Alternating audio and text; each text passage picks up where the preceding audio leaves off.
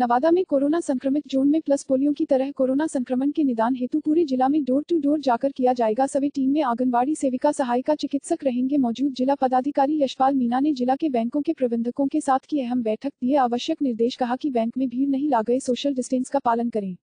नवादा से अरविंद कुमार की रिपोर्ट। हाँ सर। जैसा कि आप जानते हैं कि नवादा जिला में कल से हम लोगों का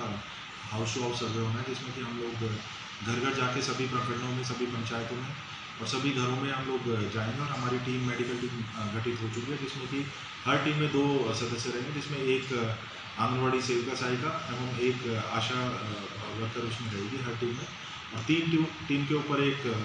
सुपरवाइज़र रहेगा और डेली बेसिस पे हम लोगों का प्रखंड स्तर पे ये हर प्रखंड की रिपोर्ट संधारित हुआ करेगी और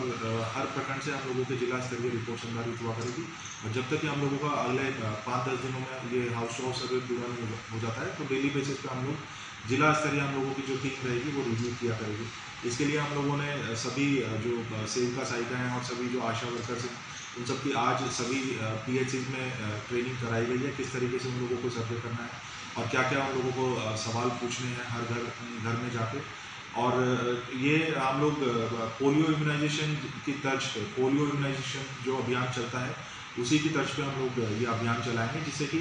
नवादा जिला में अब अब भी अगर कोई कोई कोरोना का संक्रमित या इस तरीके का कोई संदिग्ध अगर ग्रामीण क्षेत्र में या शहरी क्षेत्र में अगर कोई है तो उसकी हम लोगों की जानकारी सह समय मिल सके और उसको हम लोग सह समय इलाज भी करा सकें। इसके अलावा हम लोगों ने नवादा जिला में सभी जो बैंक वाले हैं, जो बैंक ब्रांचेज हैं, उन सबके साथ बैठक की है, जिनको भी हम लोगों ने दिशा निर्देश दिया है कि उनके बैंक के ब्रांचेज के बाहर ज़्यादा भीड़ ना हो। उसके लिए उनको काफ़ी सख्ताई से आदेश का अनुपालन करने के लिए बोला गया। तो आज ही हम लोगों के पास रिपोर्ट आ रही है कि बैंक्स में भीड़ वगैरह जो है उसको स्ट्रीमलाइन करने के लिए सभी ब्रांचेज में कुछ कुछ कर रहे हैं। जैसे कि टोकन सिस्टम कुछ ब्रांचेज में चालू किया है। टेंट शामियाना वगैरह ब्रांचेज के बाहर लगाया गया जिससे कि जो ग्राहक वगैरह हैं, उनको सुविधा होगी और जो ग्राहक है, उनको भी किसी भी भ्रमित सूचना के बहकावे में नहीं आना है।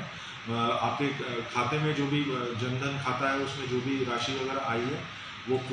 उसको आपके अलावा कोई और नहीं निकाल सकता है और उसको आपके खाते में ही वो बनी रहेगी। ऐसा कोई भ्रम भ्रम में नहीं रहना है कि जब तक लॉकडाउन है, तब तक ही ये राशि रहेगी या तब तक ही ये बैंक खुले रहेंगे। ऐसा कोई भी भ्रमक सूचना के इसमें नहीं आना है आप सभी को। और आपके खाते में जो राशि आई है, वो आपकी ही राशि है और आप उसको कभी भी निकाल सकते हैं। इसके अलावा निजी स्कूल्स को हमने बैठक करके उन निजी स्कूल को हम लोगों ने अनुरोध किया है कि जो भी अभिभावक वगैरह हैं, जो लॉकडाउन के पीरियड में कुछ अगर परेशानियाँ हो गई तो उसको